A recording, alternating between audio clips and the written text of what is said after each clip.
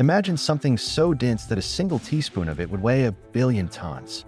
Not a planet, not a black hole, but something in between. A cosmic zombie, the crushed heart of a dead star. This is a neutron star. It doesn't just bend the rules of physics, it body slams them. We're talking gravity that crushes atoms, magnetic fields strong enough to erase your credit card from a million miles away, and matter so dense that it's basically nuclear pasta. Yeah, that's real. Strap in. Because today, we're diving into the wildest stellar objects that actually exist.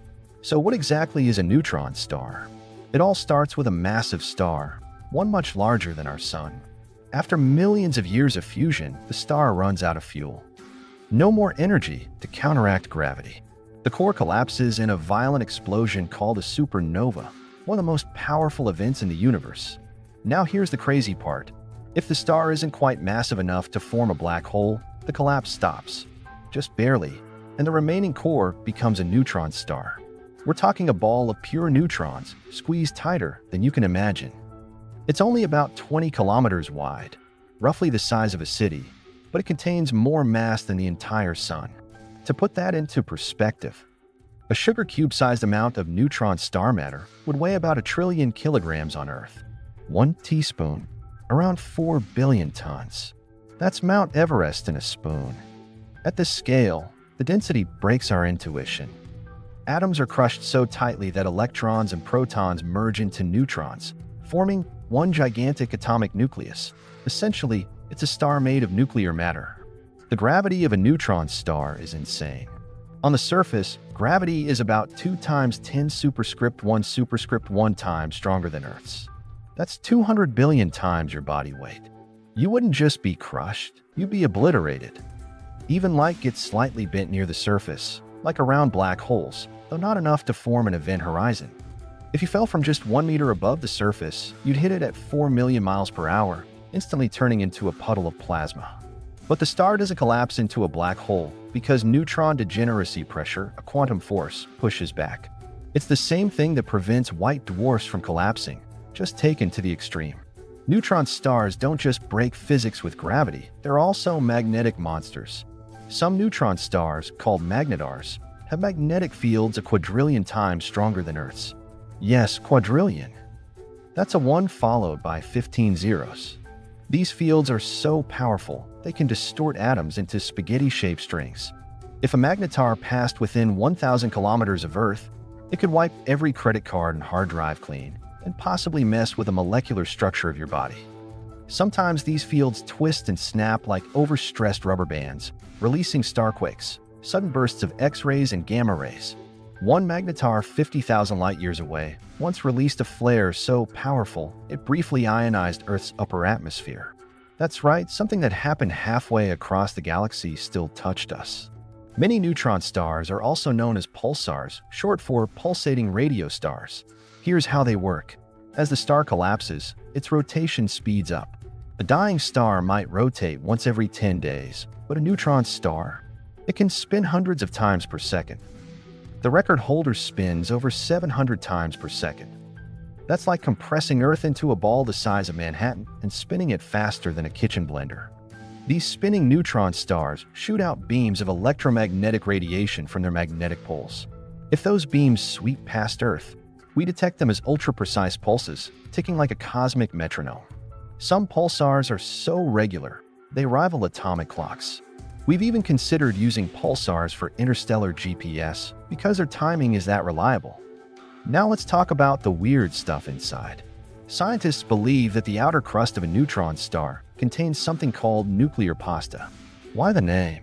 Because under extreme pressure, matter forms bizarre shapes. Long tubes, spaghetti, flat sheets, lasagna, even gnarly knots, gnocchi. This isn't actual food. It's the strongest known material in the universe, billions of times stronger than steel. You need 10 billion times more force to snap a strand of nuclear pasta than to break steel.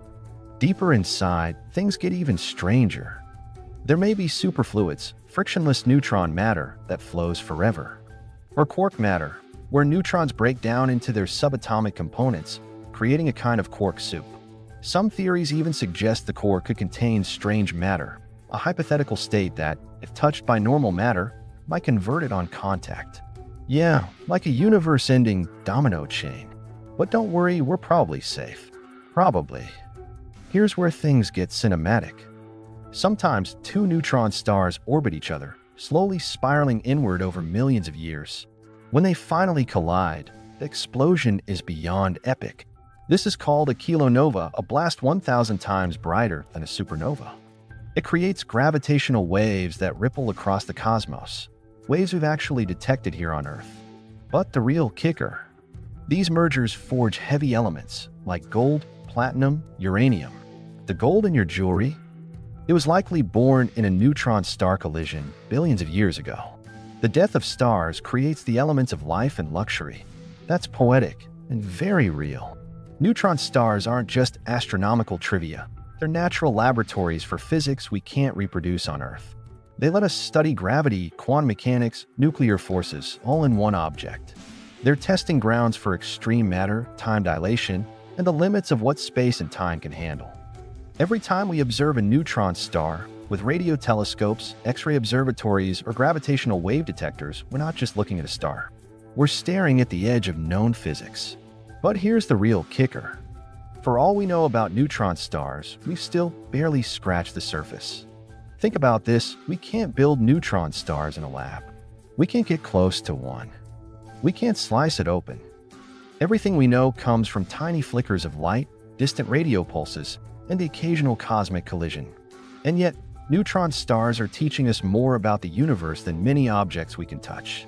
They're helping us test Einstein's general relativity under conditions he never imagined. They're helping us explore how matter behaves when crammed to densities that exist nowhere else.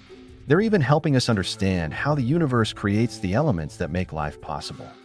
And get this, in 2017, when we detected gravitational waves from a neutron star merger, we saw it, heard it, and measured it all at once.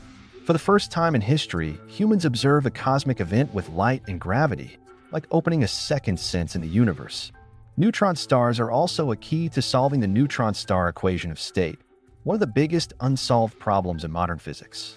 Basically, we still don't fully understand how matter behaves inside them. Different equations give different radii, different masses, and different structures, and we're slowly narrowing it down with every observation. And some researchers believe that studying neutron stars might even unlock the secrets of quantum gravity, the holy grail of physics.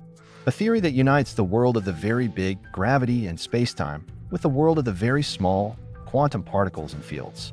Because at the heart of a neutron star is a battleground between those two realms. And where those laws clash, new truths are waiting. So next time you hear the phrase neutron star, don't just think of it as a dead remnant. Think of it as a cosmic paradox, where death creates light, collapse creates structure, and silence pulses louder than anything we can imagine. They're terrifying. They're fascinating. And above all, they're real. Somewhere out there, right now, a neutron star is spinning, pulsing, crushing, glowing. It doesn't know you're watching. But in its silence, it's teaching us everything. And that is what makes it beautiful.